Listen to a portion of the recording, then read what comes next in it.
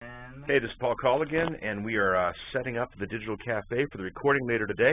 You've seen this set in various videos with various gurus.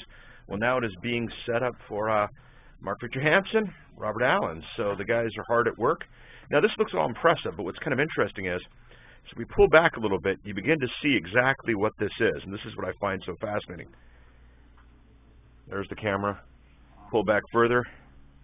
There are the lights pull back further, and you begin to see it's just a little corner of this room. Now, what's interesting here is another set you may have seen with Mike is this one over here. A couple of chairs, a good backlight, and we're done.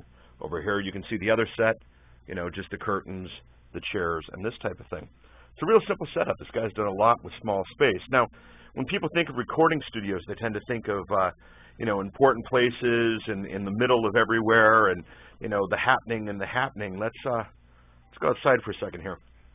You know, this is just a strip mall, and uh, that's where they've put everything. So now that I've uh, kind of, uh, you know, destroyed the magic, welcome to the Digital Cafe, everybody. This is Paul Colligan, going live.